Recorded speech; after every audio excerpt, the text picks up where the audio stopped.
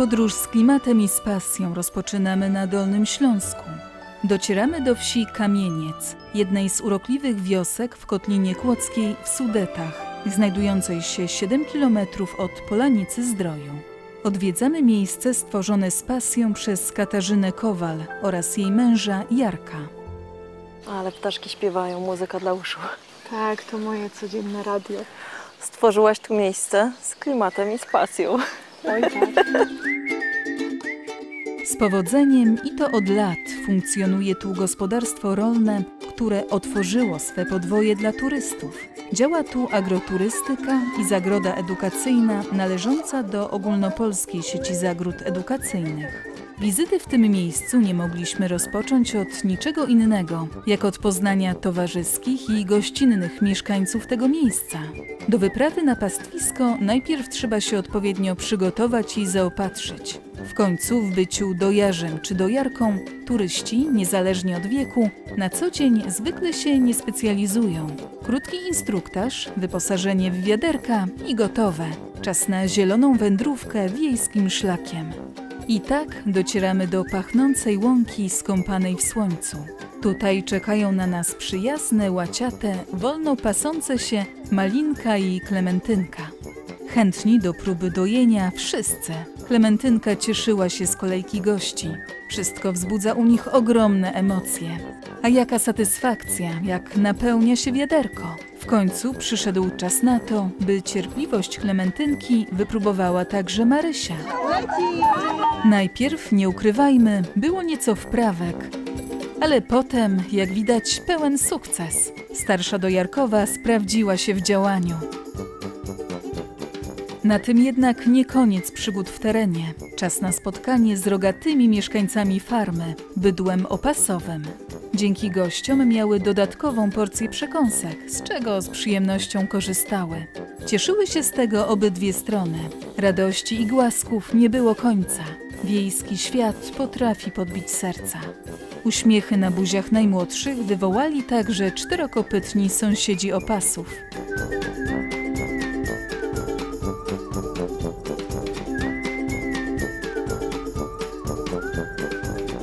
Kasiu, tutaj w tym gospodarstwie się urodziłaś i wychowałaś. To twój rodzinny dom. Tak, Marysiu. A moja historia ma początek y, jakieś 70 lat temu, kiedy do tego domu przyjechała moja babcia Janinaka y, z dziadkiem Mietkiem, y, ze swoimi córkami i żywicielką rodziny, y, krową. Przyjechali tutaj y, pociągiem y, towarowym. Jechali długo, bo chyba jakieś dwa dni.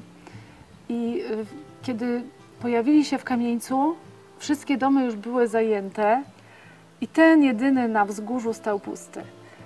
I tak zaczęła się moja historia, ponieważ y, urodziłam się w tym domu, wychowałam, spędziłam dzieciństwo i plany na życie miałam zupełnie inne.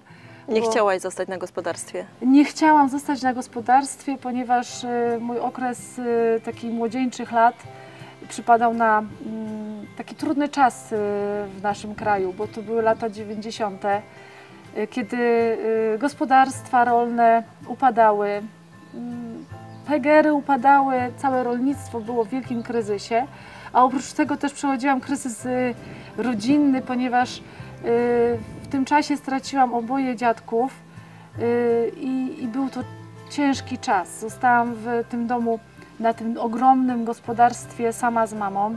Dom kojarzył mi się z ciężką pracą, z brakiem pieniędzy, z brakiem perspektyw.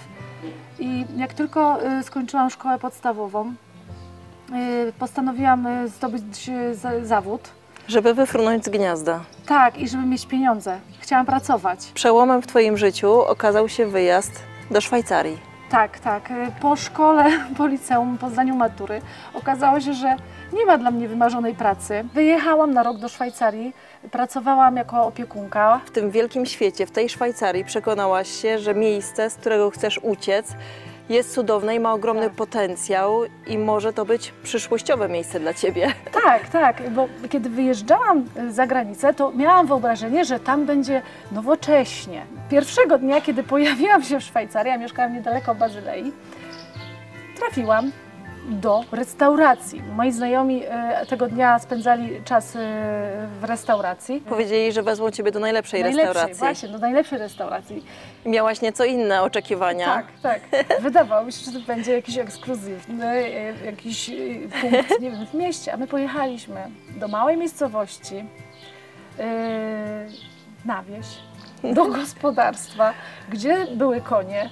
Goście jedli posiłek na zewnątrz, w towarzystwie zwierząt, much, tego co ja po prostu Sama natura. tak, sama natura, a ja przed tym uciekałam i, i pierwszy dzień pokazał mi y, właśnie w tym nowym świecie, że, że ta nowa jakość może być podobna do tego, co ja obecnie mam w Polsce, ale to już mi dało taką, y, takie, zaświeciło mi się w głowie taka świat, takie światełko, że, że a może mogłabym takie miejsce stworzyć u siebie. Potem wróciłaś do Polski, studiowałaś, dostałaś pracę w urzędzie, Tak, spędziłam w tej pracy 10 lat. ale w pewnym momencie znowu przeznaczenie ciebie dopadło. Byłaś na targach w Poznaniu. Co tak, tam się tak. stało? Y, Tam wzięłam udział w konkursie na najładniejszą krowę.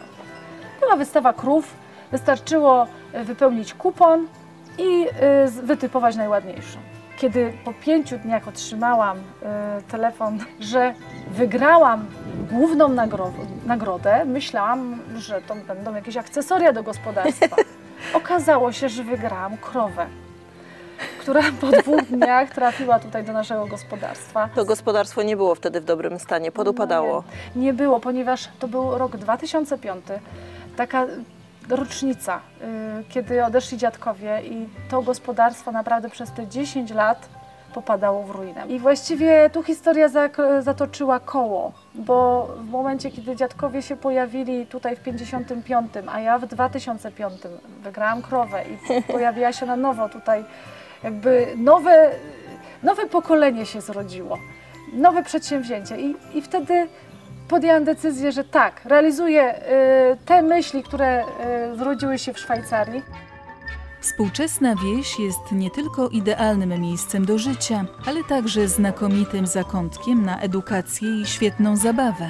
W zagrodzie Kasi nie ma czasu na nudę. Odwiedziliśmy kozi zakątek.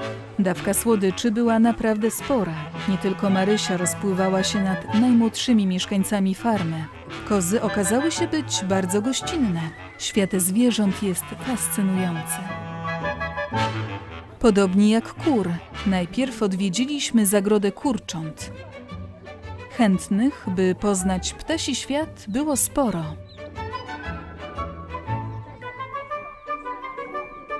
Marysia zyskała nawet wyjątkowego towarzysza wędrówki.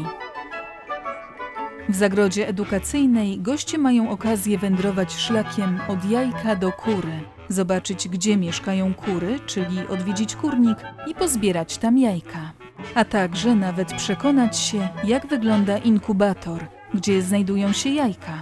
Obserwacjom nie było końca.